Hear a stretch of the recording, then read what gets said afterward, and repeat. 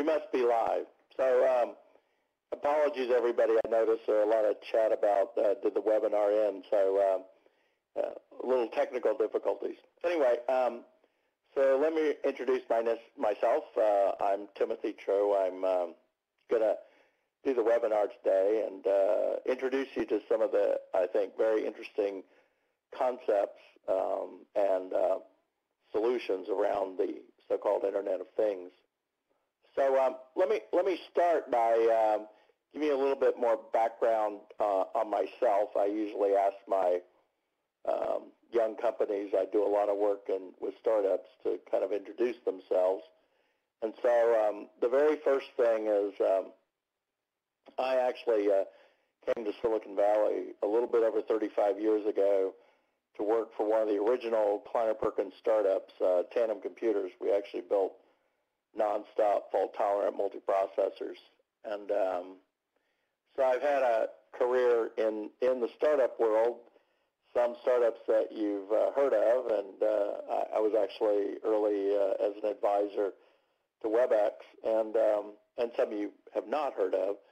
These days, um, because of my interest in this uh, industrial Internet of Things space, enterprise Internet of Things space, I um, uh, and became the uh, chairman of the Alchemist Accelerator and am spending personal investment time in uh, in a number of ventures. So there's a whole aspect of my career which has been with startups. The other is uh, I've been involved with large corporations. I um, basically my last full-time job I spent as the uh, president of Oracle On Demand, which was the very early days of the um, cloud business at Oracle, which today is a little bit over $2 billion uh, worth of business. And the last thing is um, I've had the good fortune of teaching at Stanford for now, you know, a little bit over 30 years. In the old days, I used to teach uh, introductory computer architecture. And about 10 years ago, I started up a class on um, cloud computing, which I do the first and last lecture, and in between I have guest lectures. If you're at all interested, uh, type in cs309a.stanford.edu, and you can learn a little bit more about that class. Um, anyway, um, all these things have come together into me starting to think a lot about the question, which was, well, what was next for enterprise software? So per my comments, I've spent time in the world where, you know, we were building whatever, CRM, ERP, et cetera, applications, uh, delivered on premises. And um, over time, we all know these applications were also delivered as cloud services, but in essence, the features were pretty much the same. And so part of me has been asking the question, well, well in essence, what's next? Is, is that all there is? Um, as I indicated, I teach this class at Stanford. I actually had Paul Maritz, who uh, at the time was CEO at VMware, uh, do one of my classes, and uh, at, the, one of his people ended up um, going to the early days of GE, and I got a email and said, "Oh, would you like Bill Ruh to come and do your class?" And I said, "Well, I'd heard a story that you guys, GE was working on things in this uh, space, but I was like, I really know much, so I um, went over to visit, and I always like to say, well, I thought I was going to hear a marketing pitch about industrial internet, and instead I my eyes were opened really on the subject of this whole uh, what people will call industrial internet of things or enterprise internet of things. And so about two to three years ago, I decided I really need to understand more about it. I, as many of you may think, um, the world of IoT, at least for me at that point in time, was well Nest thermostats and Fitbits and you know consumer questions. And I, I was sitting there going, well, I really don't know why my coffee maker should talk to my toaster.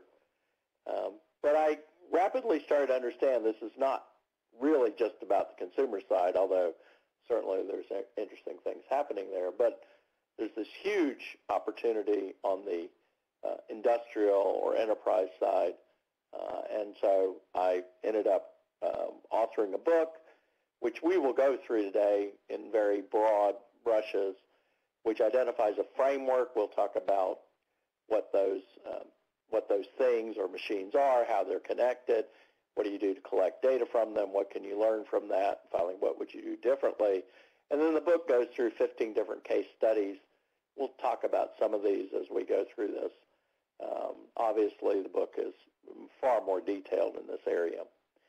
So um, today what I'm going to do is I'm going to do really three things with you. One is I'm going to talk a little bit about uh, technology, uh, a little about where we are today and where I think we're headed. Uh, obviously, since I'm in Silicon Valley, uh, I'm spending a lot of time with young startups in this area, and so you'll hear a little bit of that about what I'm going to argue as next generation technologies.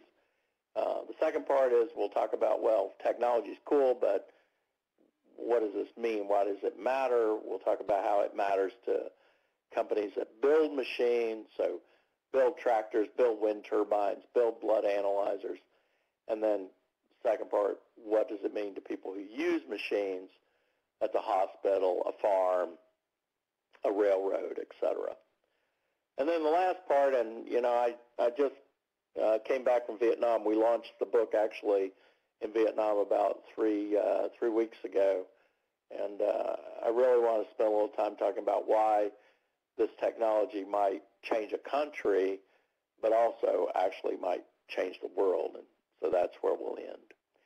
So um, hopefully this will be an interesting uh, half hour, 45 minutes for you. Uh, I always like to say, well, uh, hopefully you'll learn a few lessons for long life in your career.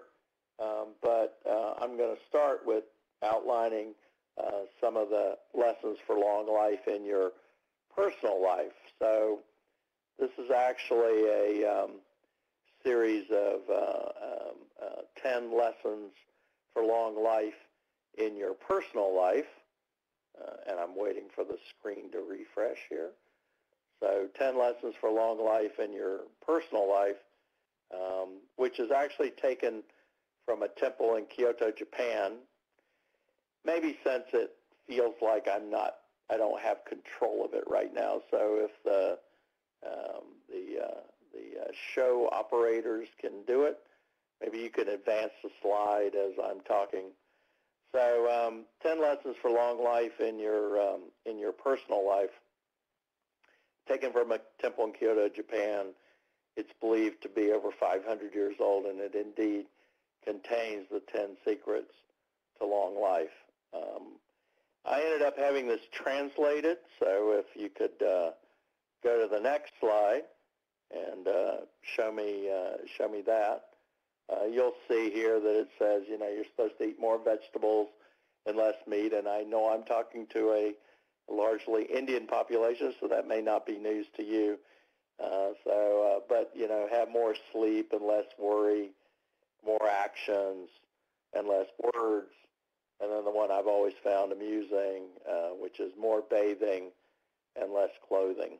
And, uh, you know, maybe if you're a Buddhist monk 500 years ago, there wasn't much interesting to do, so this was the most amusing thing to do.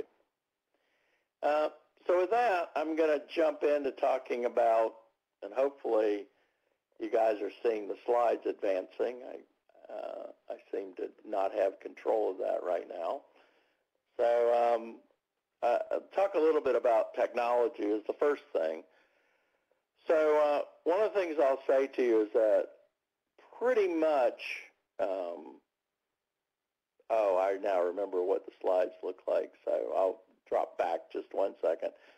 Uh, I know the next two slides end up talking about, um, or actually a report that the World Economic Forum released um, a couple years, about a year or two ago, and basically it says that, well, the first thing that you, uh, that, that we've really worked on that the internet has affected has really been financial services, retail, right, those areas, uh, and, and media. And, and that's really kind of the hub of what we've done today. But the next big giant thing to happen, and they write that in the next 10 years, the Internet of Things uh, will affect you know, agriculture, power, water, healthcare, all these major industries.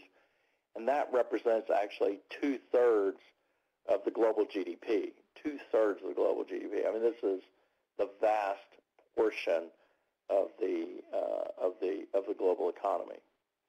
Um, so with that, and I'm still wondering if we're seeing the slides advancing, since every time I hit the mouse, nothing's happening.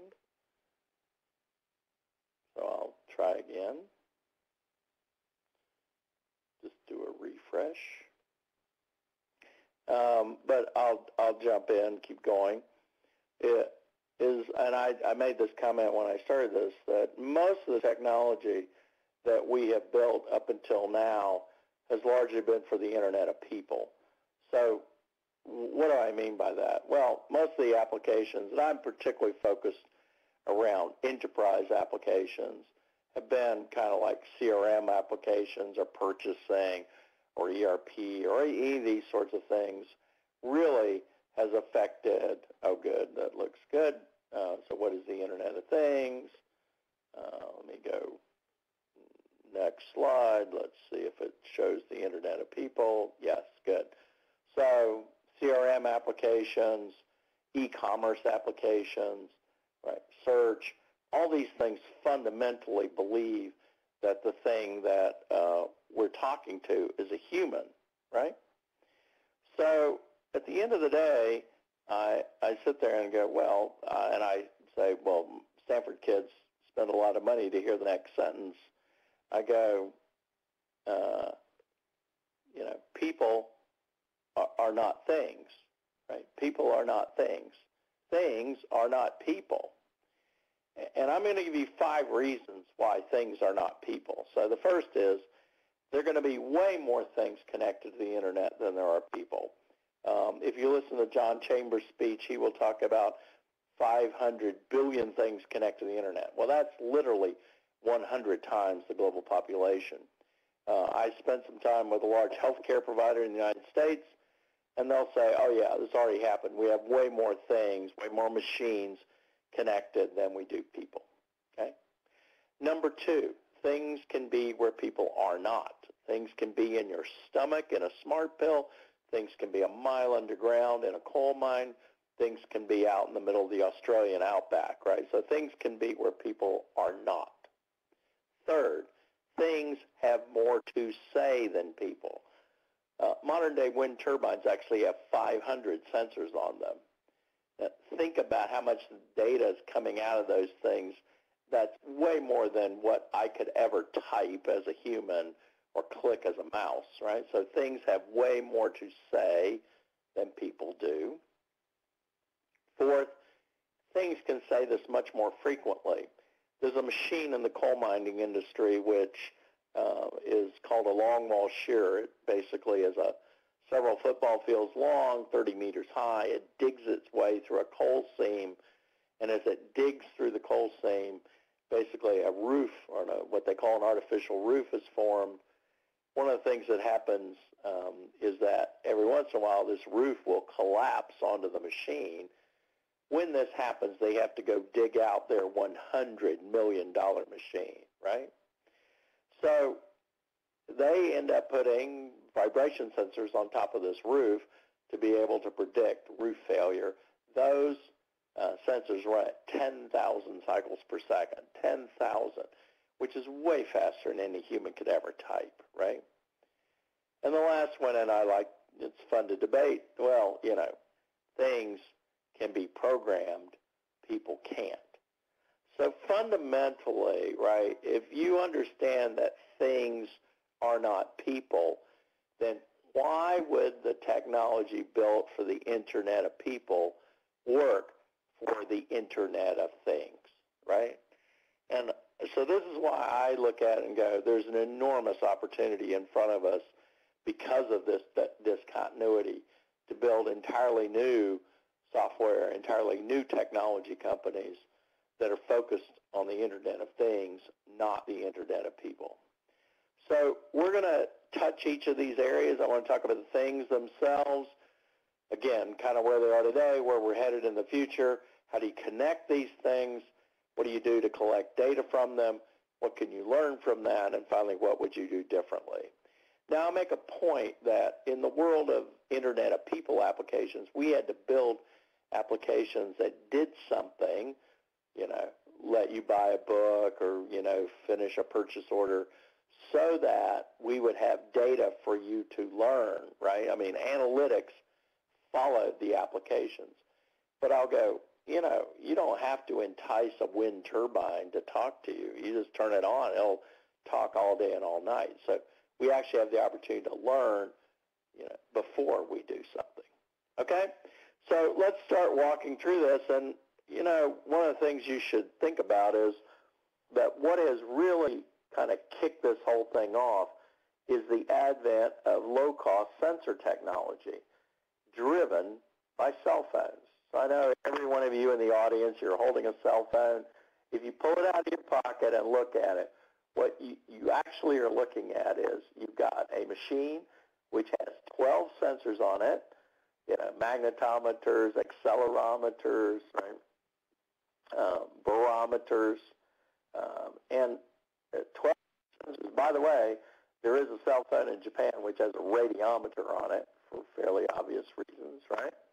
So if you think about it, I've got 12 sensors connected to a very powerful computer uh, with a lot of storage, a lot of memory, and then connected to three different networks, right? And if you took the fancy case off of it and the fancy display, that computer you're staring at is probably about 50 bucks, right?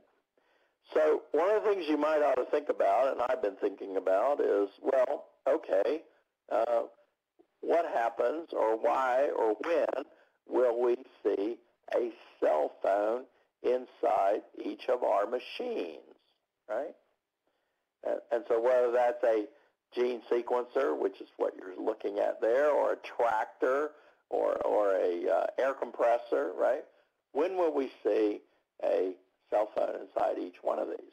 Now, I said um, I was speculating on this. Well, I actually teach a class at Tsinghua University in Beijing, and uh, and uh, by virtue of that, I show up in Beijing once a year, and so I sometimes meet with my um, with my uh, some of my former students. One of them is a uh, engineer at uh, Xiaomi. Some of you may know who Xiaomi is. They're actually uh, the world's largest producer of cell phones. They make 80 million cell phones a year. Um, interestingly enough, they're starting to saturate the Chinese market, so they're starting to look at India, right? But the other thing they're starting to do is look at building totally new products. And so I said, well, like, give me an example. And he said, well, uh, let me show you. And this is a quintessentially uh, Chinese product. It's an air purifier. So if you know anything about uh, China's big cities, uh, the air quality is pretty bad. So building a air purifier is a pretty good, pretty good product idea.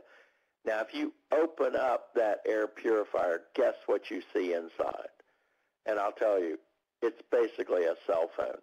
And this is not too hard to believe because the vice president of engineering at Xiaomi is actually um, the, one of the original Android uh, guys. So uh, as I said, not too unobvious how this idea happened. So you could say, well, do you think that inside these machines of the future you'll see an Android operating system? Maybe. Will it be Microsoft? I don't know. I could tell you that another point of view says, well, all of those operating systems were built for the Internet of People. Uh, maybe there's an opportunity to build an entirely new operating system for the Internet of Things and maybe one which from the very beginning is engineered for security because if you look at what most of these machines look like today, it's a fairly primitive hardware and software environment. And as we move forward, um, we have the opportunity to engineer something, I think, completely different than where we came at it from the Internet of People. So um, let's move from the things themselves to talking about how to uh, connect those things, right? Um, so today, for the Internet of People, we're all pretty happy if I got Wi-Fi and 3G, 4G, etc., right? Um, but let me tell you that um, when you look at uh, things, that is probably not going to be adequate enough. And let me give you an example. So there's a company in the UK called Sensium Vitals. They actually build what's called a vital sign. It's a vital sign monitoring patch. So it monitors uh, your uh, respiration, heart rate, et cetera. So when you come into the emergency room, they slap one on you. Now, the design criteria that they established was they did not want to use rechargeable battery packs for this thing because they would have to wash it and, by the way, go through the recharge cycle. So they said, we want to build a patch that uses disposable batteries. Well, as soon as they use disposable batteries, um, there, there's no way to run Wi-Fi. They don't have enough power to run Wi-Fi. So they ended up moving to a ZigBee mesh-based network. Um, so I believe that in the Internet of Things, we're going to see a diversity of communication technologies, connection technologies, diverse by range, diverse by data rates, and diverse by power requirements. You're seeing stuff at one end of the spectrum. Some of you may have heard of LoRa, Sigfox. Uh, I'm actually working with a company that's doing what I would call a next generation of RFID. So low data rate, low power requirements, all the way up to, and I go, well, so what is the most demanding networking application out there? Well, probably um, I'll go a toss-up between the World Cup, the finals of the World Cup, and Victoria's Secret's one runway model show, right? So, you know, this is a ton of content sitting in the cloud being pushed out uh, into the endpoints. Now, let's look at the Internet of Things. Um, a large wind turbine manufacturer out there owns 15,000 wind turbines. Well, these wind turbines generate data from 500 sensors once a second. So there's a tremendous amount of data coming out from the endpoints back up into the cloud. So we may have to end up building reverse streaming networks, much higher performance networks than what we're doing today. And I'm actually spending time in the 60, 70, 80 gig regions, millimeter wave, right? This next generation, much higher performance networks. Okay? So connection, right? We're, uh, as I said, I think we're going to see a much more diverse set of connection technologies. Now, once I connect, then the next thing is, well, how am I going to collect the data from these things? Well, today's technology is, as you would guess, people are using, you know, SQL uh, to go collect some of this data. But I think something more important is starting to happen, which is um, I was spending time with a large um, oil and gas company. Uh, they have an oil drilling rig off of the Gulf of Mexico. This oil drilling rig has 40,000 sensors on it, 40,000 sensors. And you go, I was like enormously curious, like, what are you guys doing with all this data? And they go, well, most of it's digital exhaust, digital exhaust. What does that mean? It's just going up in the air. They're not doing anything with it, right? Why is that? Well, if you think about it, you go, well, um, if I'm going to take all that data and store it in the conventional ways, right, of doing this, I'm going to either send a uh, salesman for a large disk uh, drive manufacturer to, to uh, his uh, first cabin, to his you know uh, successful sales guy club, or I'm going to send the guy who writes uh, SQL database software uh, to club. Uh, and even if I was to come up with a configuration that would store this data, and you know, and let's assume that it costs $10 million to buy such a thing, I walk into my boss and she'll say, well, what are you going to do with the data? And, and that's really the interesting question because today most of the technology has been built, has been for the Internet of people. So these BI tools, visualization tools, Excel, et cetera, we're all architected to deal with data from the Internet of people. Now think about, back to my little example of the wind turbines, what if I have barometric pressure at 15,000 different wind turbines every second. What intuition could a human possibly have about this? And so I think the opportunity exists. for those of you who spend any time in the world of machine learning, artificial intelligence, uh, to basically bring some of these technologies, which have seen such remarkable advancements on the uh, consumer side, into the world of the Internet of Things. I'll just take a couple seconds out to talk about the, the change, and I, some of you are probably already starting to be interested in this, but the dramatic improvements in, and if you've played with Alexa, which is a great speech recognition system, you've noticed, you know, Facebook's facial recognition or Google Translate, kind of like, well, why is this stuff happening so rapidly um, and with such high quality? And, just to put a marker on it, uh, many of you may know there's a competition referred to as the ImageNet competition. And the ImageNet competition uh, is one where you compete uh, human against the computer to recognize images. When it was launched in 2011, the uh, the uh, humans uh, were doing about 95% correct in in identifying an image, and computers I think were at 72% correct. Right. So humans 95, computers at 72. Two years ago, the computers hit 96%. So the computers were actually more accurate than the humans. And uh, I was just reading that uh, they're basically saying this is the last year of the ImageNet competition because it's basically not a competition anymore, right? So why, why is this happening? And I'll point out three essential ideas. The first is the advent of tons of technology. Some of this is coming, been around for quite some time uh, in neural networks, deep learning, these sorts of areas, now starting to arrive as open source in one form or another. And and uh, so so number one, that software technology. Number two, a crap load of compute horsepower for no money. So I made a comment. I started teaching class at Tsinghua University um, about seven years ago. When I first went, uh, the guys at Amazon gave me $3,000 worth of computer time. So I showed up in class at $3,000. Well, that's worth, uh, you could buy a computer in Northern California, Virginia, or Ireland for three and a half years. So most of the students looked at me and went, yeah, so what, right? And um, so I said, or $3,000 buys you uh, a uh, 10,000 computers for 30 minutes. $3,000 buys you 10,000 computers for 30 minutes. What would you do with that, which is what I wanted them to think about. Well, I think we now know the answer to that question, which is a ton of computer horsepower for no money is the second major linchpin.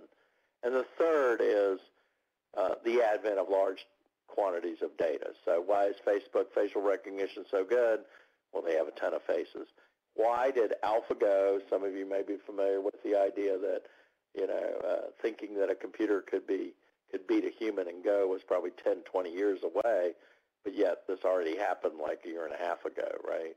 Well, by the way, they had 1 million, right, Go games that they were analyzing.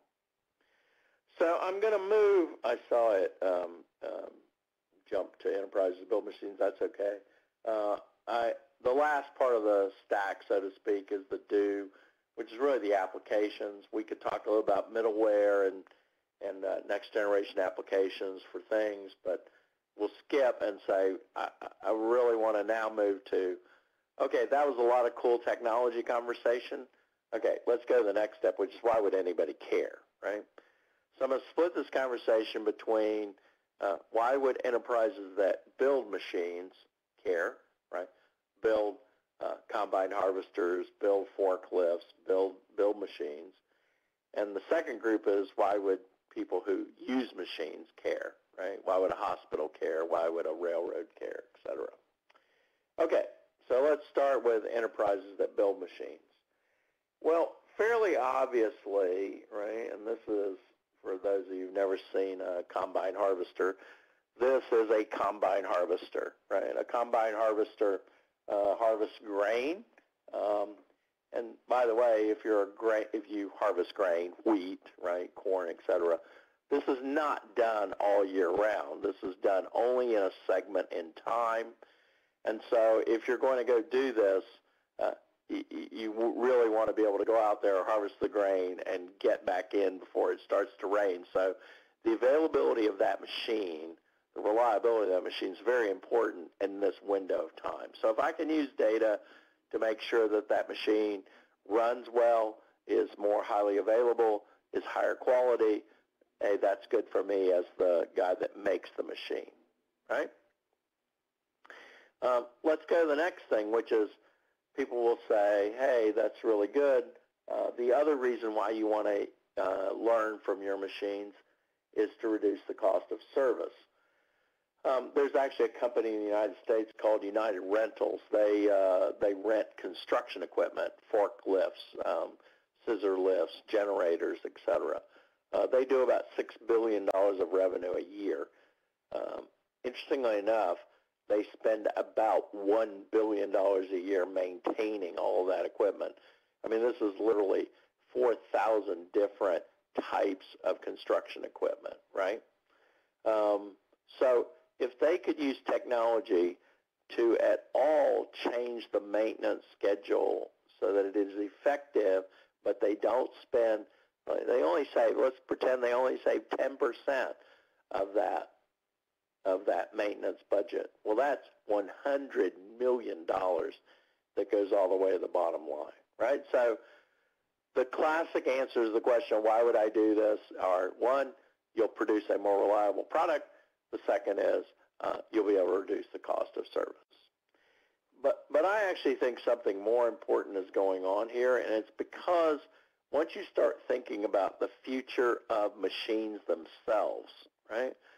So I like to say, what is the machine of the future?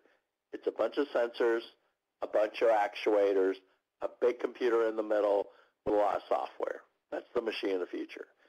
And if you want to go see one today, and I don't do a lot of consumer examples, I like to say, go go look at a Tesla. That's what a Tesla is, right?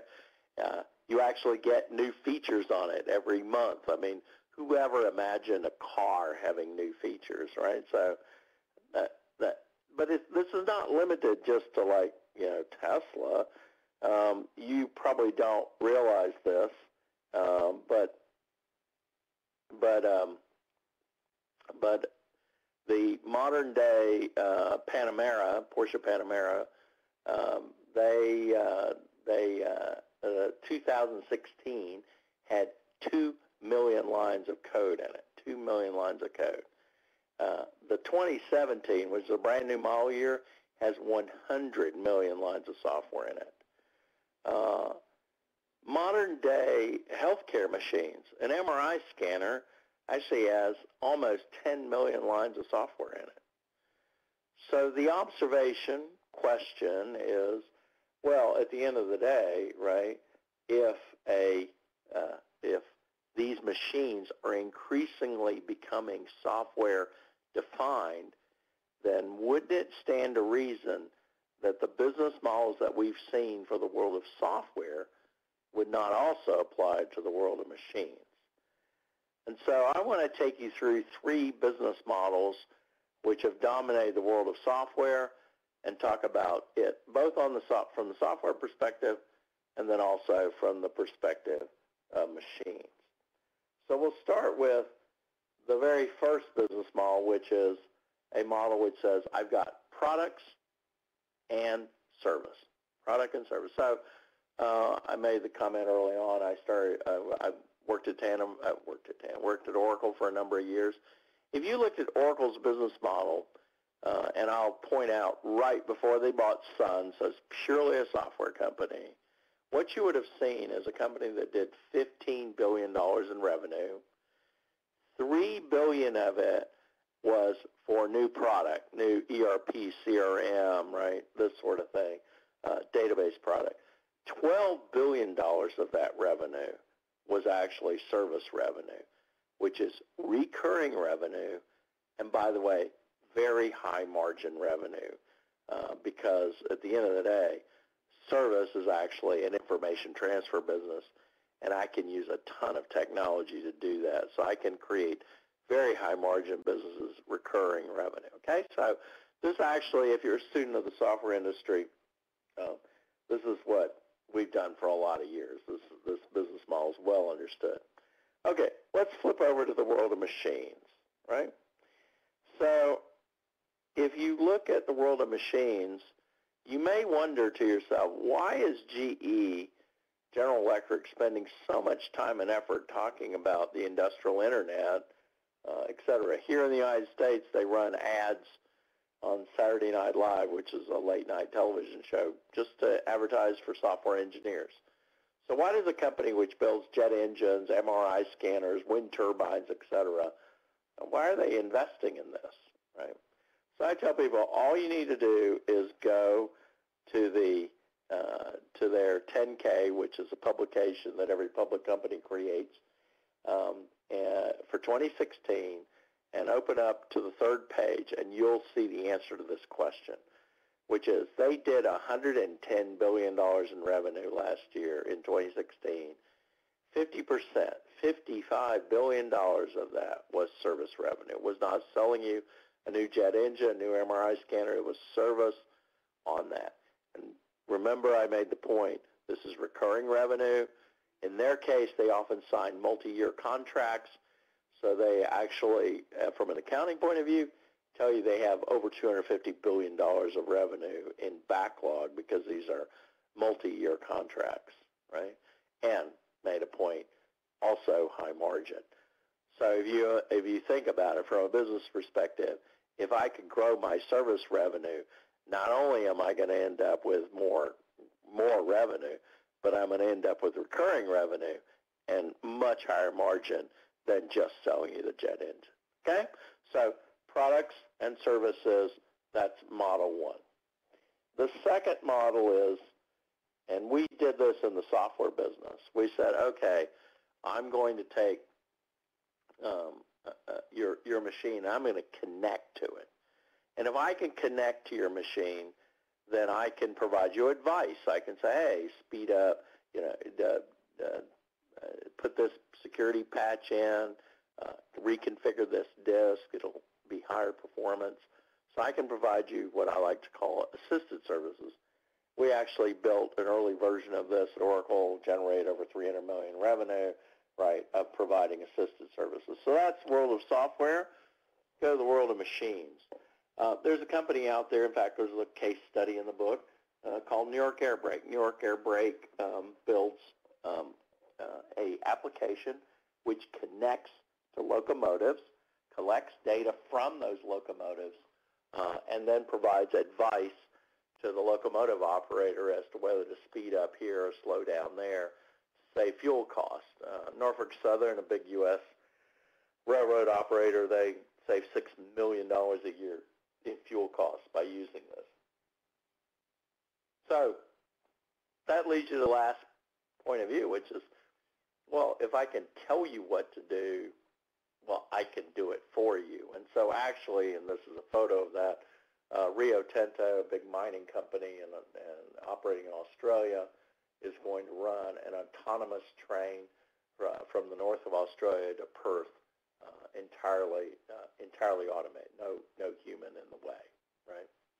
Now, we we in the world of software say, hey, you know, we've been doing that. Uh, you know, rather than let uh, the, uh, the the client figure out when to um, uh, change a security patch or reconfigure a disk, we say, well, we'll do it for you, and that we have called software as a service so the logical third step of this model, the third business model is what I like to call machines as a service, right? So this is actually um, a air compressor company. You can buy um, the air compressor. You can buy a service contract against the air compressor. You can connect to the air compressor and get an assisted service, or you can actually get compressed air as a service. Uh, I don't do a lot of consumer examples, but there's a company in Brazil right now where you don't have to buy tires for your car. You just go to go to them. They put brand new tires on your car, and you drive away, and they charge you per mile that you drive that you drove. Right. So the advent of a machine as a service model is hugely disruptive. Uh, And uh, as we are already seeing, I'll say, in my world, in the world of software, in the world of hardware, as people that move to these business models have enormously different uh, advantages in being able to do this. So uh, my counsel to people that buy, build machines is I go, you don't want to be, you don't want to be second into doing this. Okay, so talked about why this technology matters to people who make machines, right? Okay, let's go to the second part, uh, which is, well, why does this matter to people who use machines, right? So uh, I'm going to take you through four different reasons why it matters, um, and we'll start with um, if uh, there are many businesses out there where their cost structures, their operating costs are driven by their consumables cost. Um, so the one that you may be familiar with is the airline industry. So the airline, uh, uh, if I run an airline, uh, my my margins, my operating costs are heavily driven by fuel cost. So if I can operate my airline much more precisely, then I can save fuel cost and, and operate with much higher margins. Now, um, you, we're aware of that one. The one you're probably not aware of is gene sequencing. In the world of gene sequencing, the so-called $1,000 gene sequence, $767 of that gene sequence is actually chemical reagents or consumables cost. So we're going to reduce the cost to do gene sequencing. We have to reduce how much of a consumables that we use. Okay, so operating more precisely will reduce consumables cost. Second, um, I can operate in a much more reliable fashion. This is actually a story in the book about the largest um, electrical utility company in the United States, uh, Duke Energy. They actually put in place a group of what are called synchrophasors or PMUs. These are machines that measure the phase angle on the grid um, these, just to make another point, these things operate at uh, 60 hertz, 60 times per second. They sample this data.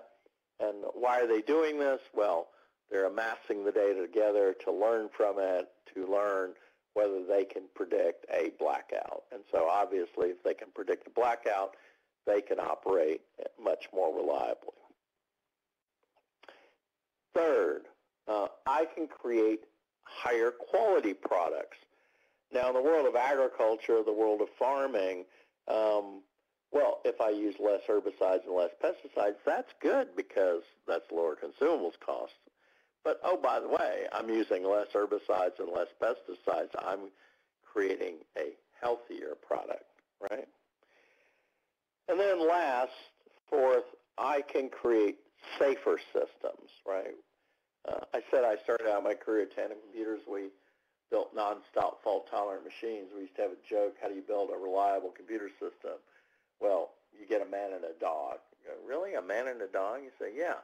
Well, the man's to feed the dog. The dog's to keep the man away from the computer. Because if you're a student of any of this, you know that the number one reason why computer systems fail is human error. And if I can take humans out of the loop here, I can create much safer systems. Okay, so um, with that, I'm going to kind of get ourselves wrapped up a little bit and then do a couple questions. Um, I want you to think about this, which is that, you know, uh, the, these, many of these examples, much more detailed, uh, are actually contained in the book Precision. Uh, we just translated this into Vietnamese, and I, I won't go through the whole story, but um, actually um, a couple weeks ago, the Prime Minister of the country said uh, this is potentially a guidebook for the next step in the Vietnamese economy. That, that's how, I, I mean, I'm flattered, right? But the, the, the ideas that are contained in here uh, are really transformational for, for major businesses on a worldwide basis. And uh, so I'll, I'll touch a little bit about what that might mean for the for the world itself. Um, and I'll say, you know, we, um, I, I have the advantage or the pleasure, privilege of teaching at Stanford, and uh, I like to say, well, I get an opportunity to warp young minds. Uh, you may be surprised by this, I don't know, but not every kid wants to go build another social network or another dating website or another, uh, you know, uh, how, uh, good places to go eat, uh, mobile app or whatever. They actually want to do something meaningful. And I said, well, let me explain what meaningful might mean. Um, and I go, look, if you look at the global economy, the global economy is driven by developing economies. Developing economies are driven by growth in population. And at the end of the day, where is that happening? Southeast Asia, Latin America, Africa. If you look, and I'm just going to just point at Africa for just a second. If you look at Africa, the third largest country in the world in the year 2040 is going to be Nigeria. It's going to be India. Well, you, you know, you guys are the number one. You're going to be India, then China, and then Nigeria. Now, most people would, I mean, everybody's heard that India is big. Most people don't realize that Nigeria is going to be the third largest country in the world. 25% of the globe's population is going to be in Africa in the year 2040. So then I ask a question. I go, well, okay, uh, if you're a developing nation, developing economy, well, you know, you, uh, you're construction, uh, agriculture, all these fundamental industries, uh, telecommunications. You know, well, if you're going to do telecommunications, would you choose the first world solution, uh, meaning put up a bunch of landlines, or would you skip ahead and just do 4G? Well, it's obvious you skip ahead and do 4G. Well, we have this enormous opportunity in front of ourselves where we can leapfrog these technologies. Let me just point at power for a second. If you look at it, um, a first world solution to a power grid is I'm going to build a large coal-fired plant with hierarchical distribution of AC power. And you go, in the modern era, why would you do that, right? Why wouldn't you just, you know, put up solar where you could, wind where you could, small hydro where you could, right? and and battery backup, and maybe even skip AC altogether, right? So could I not reinvent how I do power, how I do healthcare, right? How I do agriculture, right? In a much more precise way by using all these technologies we have to bear, we have, and and bring them to bear. So um, I, will end by saying. Um, you know, uh, unless we all move to Mars, and, and I know there are people working on the Move to Mars project, but unless we all move to Mars, we are going to have to operate on a planet much more precisely. And I believe the technologies that I've just outlined, the business models that may come to bear, will be part of how this happens. So if any of you students out there, young entrepreneurs out there, are interested in this, I mean, I think this is transformative from a business perspective, from a nation perspective, and from the world. So with that, I'll um, um, open up for some questions. I notice there's traffic going on here. So uh, let me see what I can see here.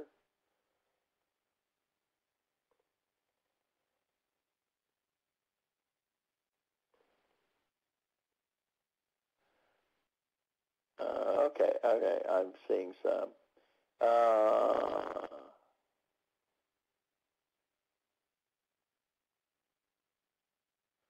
so what's the difference between artificial intelligence and IoT? Well, I, I'm going to say they're, you know, they're not, uh, they're not, they're overlapping. They're not the, the uh, two sides of a coin. So my point when I was talking is that the technologies that you see today that are being used for let's call it speech recognition, just to point at it, uh, that are working so well in, let's call it serial echo, these sorts of things. Uh, I can bring these to bear because realize what speech recognition is doing is in essence, it's looking at time series-based data, in this case voice, right? Um, and so when I said wind turbines, you know, rogators, any of these machines um, are emitting tons of time series-based data. So uh, the, the operating belief is, uh, couldn't I take the technologies that are today being used for speech recognition for that kind of time series data and bring it over into this world and, for instance, recognize when failure may occur, predictive maintenance, so to speak, recognize when I'm I could perform more optimally, right, and use those very same neural network, deep learning, et cetera, technologies uh, to to apply to the world of things.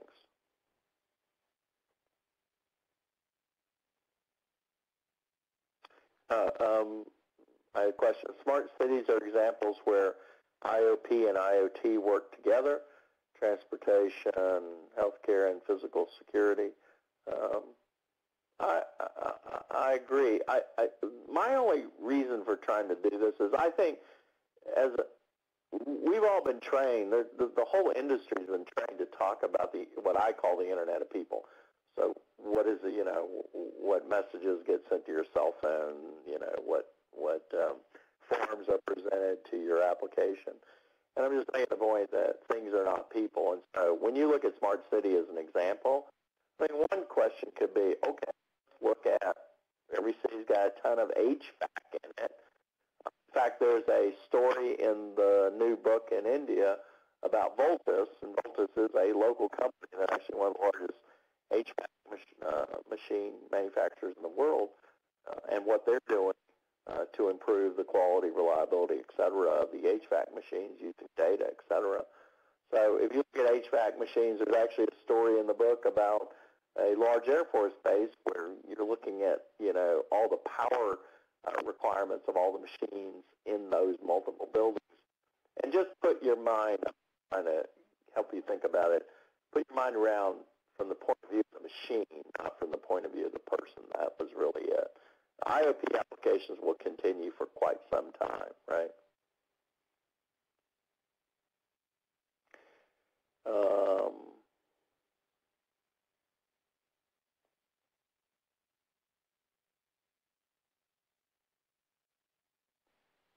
IoT, oh, uh, sir, please comment on IoT software infrastructure for energy management and smart grid city projects in India.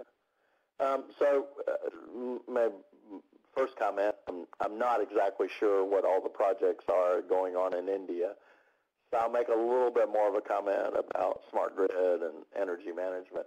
I already said there was actually a case in the book about uh, much more efficient energy management um, um, um, using, quote, IoT technology. And is at an Air Force base called Air Force Base. Uh, so you can read a little bit about that. But um, May, I'll take this as an opportunity to make a comment. Remember I said um, there's a world of people who make machines, the world of people who um, who use machines. And and uh, I, I spent a, a, little bit of time with the guys at Samsung uh, Smart Home. Uh, as I said, I don't spend a lot of time on the consumer side, but Smart Home, I, I was talking to said, well, I can explain why Smart Home hasn't happened, right? even though people have been working on this for like 20 years. And I said, here's, here's why. It, Samsung comes into my house and says, well, hey, make your microwave oven, your dishwasher, your refrigerators, your TV, everything Samsung, and let me show you how cool it can be. And I go, but, you know, I just bought my dishwasher, and I like my refrigerator, right? Now, think about this. This is the same thing that's going on in a hospital, in a farm, in a utility, which is that you have a diversity of machines that don't all come from one supplier. And oh, by the way, a diversity in time. So I've got old machines, new machines, middle-aged machines. Uh, I did a talk last year for Philip Morris. Uh, they're the remnants of the uh, of the uh, giant cigarette business uh, called Philip Morris. I think they're even today at $36 billion on, on a global basis. Their youngest manufacturing plant is 20 years old. So now think about this. Whether it's a hospital, whether it's a utility, whether it's a farm, if you're dealing with a heterogeneity of machine and in time and supplier, the only business model that can attack this is a consultative one because I cannot repetitively do anything. These are all different. And so I think point one, if you're going to go into the space and think about this from a you know, hospital, from a farm point of view, you must also think about it from a consulting point of view, which has very different business models to it. Whereas if I think about it from the standpoint of a wind turbine, uh, a set of solar panels, or just to stay in energy, from the machine's point of view, then I can be much more highly repetitive because this is a product-oriented approach. So I counsel people when they're starting to look at this problem, go spend time with the people who make machines, not the guys that use machines, because we're going to be able to make far faster progress with the guys that make machines.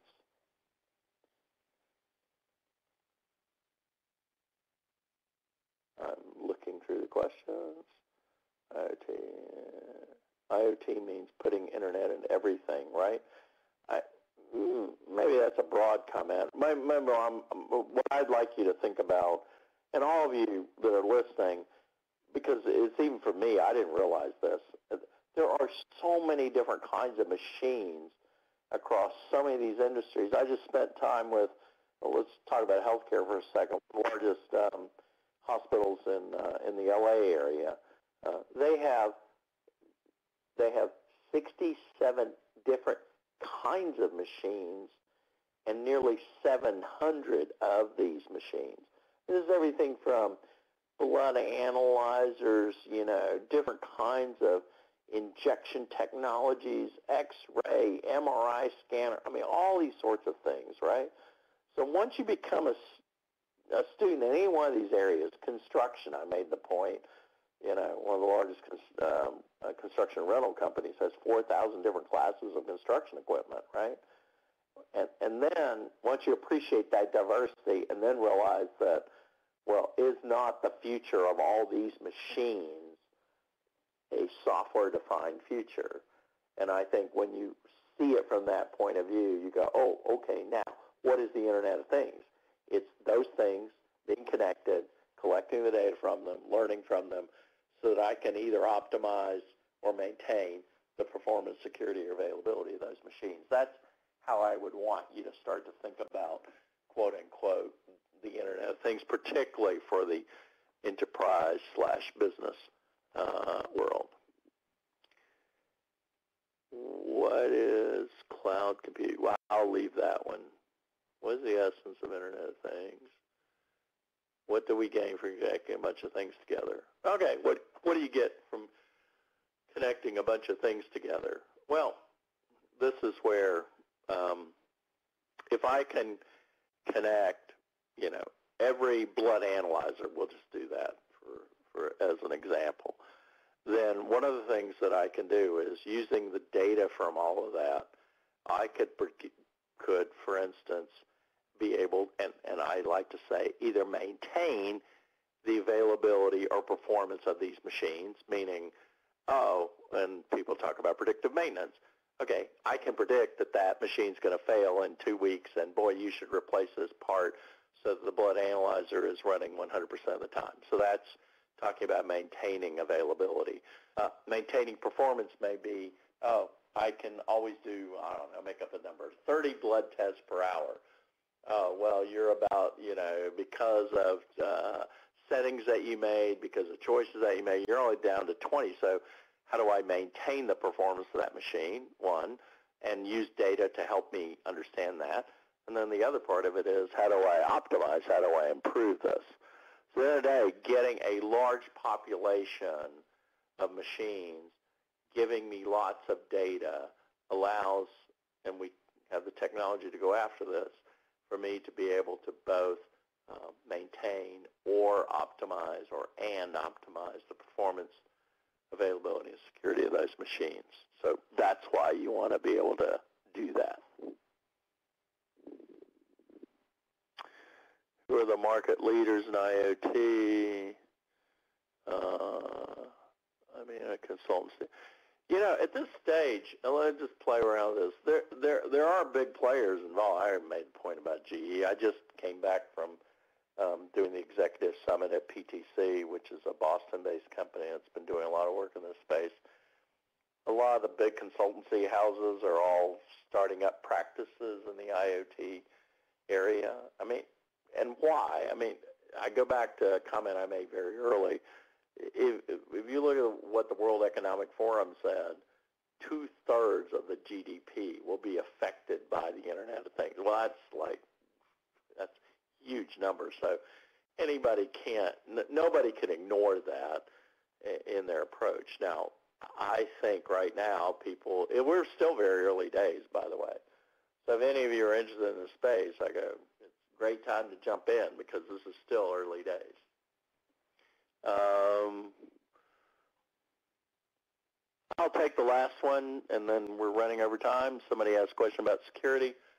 Actually, amusingly enough, I just did a keynote speech this morning, a security software company, all about uh, security and, and the Internet of Things.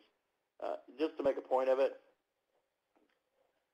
we're probably at this, even at this stage, the bigger holes in the Internet are all not coming through PCs and laptops and cell phones. It's coming through HVACs and video cameras and centrifuges. So this is already the case. Now, I think what's uniquely true right now is that we have an opportunity.